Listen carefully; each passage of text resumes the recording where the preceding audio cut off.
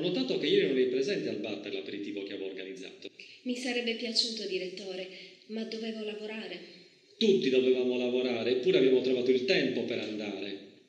Sì, direttore, ma lei non deve timbrare il cartellino. Io invece non posso assentarmi dall'ufficio. A parte il sottoscritto, tutti gli altri devono sottostare a queste formalità. Tuttavia si sono presentati. È così che vanno le cose. Mi scusi, direttore, ma io non credo che questa mia mancanza sia così grave da meritare un rimprovero. Il tuo comportamento è stato gravissimo, per questo delle ripercussioni. Sarai licenziata. Licenziata? Ma lei non lo può fare. E invece sì, proprio qualche minuto fa ho mandato la tua lettera di licenziamento all'ufficio preposto. Io scriverò al ministro per informarla della grave ingiustizia che sto subendo.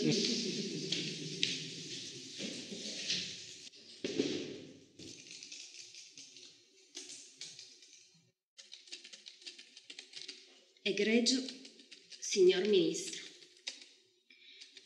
le scrivo questa lettera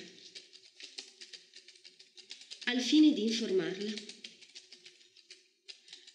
della grave ingiustizia di cui sono stata vittima.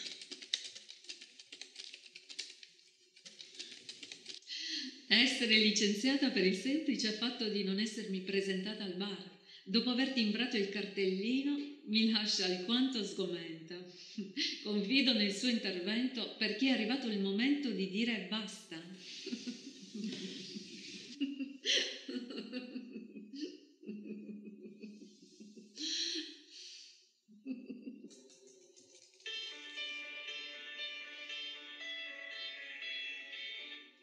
Pronto? Ciao, sono Valentina, ti disturbo? Assolutamente, quando mai la ministra può disturbarmi? Ti volevo comunicare che ho ricevuto una lettera da parte di Francesca, una tua dipendente. Già, già, mi aveva detto che sarebbe rivolta alla mia superiora.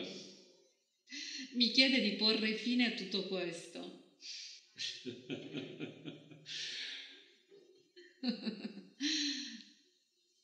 Ma vi sembra che sia arrivato il momento di dire basta?